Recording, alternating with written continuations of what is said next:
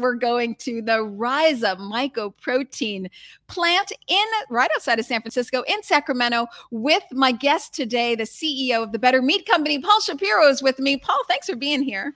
Let me just talk briefly, Elysabeth, if you don't mind, about how we make plant-based meat today. Because right now, nearly all of the meat that is sold in the plant-based world is coming from one of three crops. It's coming from soy, coming from wheat, or it's coming from peas, or it's coming from some combination thereof. Now, if you notice, all of those have one thing in common. They are all plants. And plants are very far, evolutionarily speaking, away from animals. So it takes a lot to get, for example, a pea to have the texture and taste of an animal. So what you do is you have to grow a field of peas, let's say, mill it into a flour. Now you have a pea flour that's not that high in protein, so you fractionate it. You remove that fiber, remove that fat, concentrate that protein down so it's a plant protein isolate. So it's like a pea protein powder that like a you know bodybuilder might take. But the problem is that it still doesn't have the texture of animal's meat. So then you subject it to extrusion, which is basically a lot of heat and a lot of pressure that changes the structure of the protein. So it goes from being globular like a plant protein to stringy like an animal protein. And that's the basis for how we get plant based meat today, or at least the base ingredient of a plant based meat. Um, so you have to do all of that because plants, again, are very far away from animals. However, there is another kingdom altogether. Not plants, not animals, but fungi. And fungi are really amazing. They're amazing because they are not in the middle of plants and animals. They are way closer to animals than they are to plants. And so, just as an example, if you think about, you know, we as animals breathe in oxygen, we breathe out CO2. We all know plants do the opposite, right? They breathe in CO2 and sequester, and they breathe out oxygen. Well, uh, similarly, fungi breathe in oxygen just like animals do. That's how much closer to us than to plants they are. Mm-hmm. They breathe in oxygen, they breathe out CO2.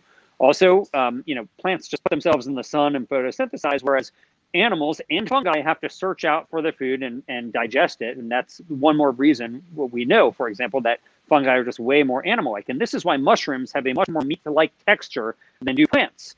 Mushrooms are way meatier than plants. And this is why in Asian cuisine, for example, mushrooms have been used for centuries as a meat substitute.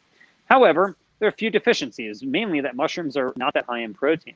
So rather than using the mushroom, which is the fruiting body of the fungi, you can use what's called the mycelium or the mycoprotein. And this is the root-like structure underneath that mushroom that is high in protein and often many of the species of fungi actually have a very meat-like texture. So what we're doing here at the Better Meat Co. is subjecting our uh, myco, our little microscopic fungi to a type of fermentation where, like, for example, think about how a cow eats grass, right? And then over a long period of time, that cow converts grass into a steak. Well, our little microscopic fungi are eating potatoes, and they're converting those potatoes into something that looks and tastes like meat through a fermentation process.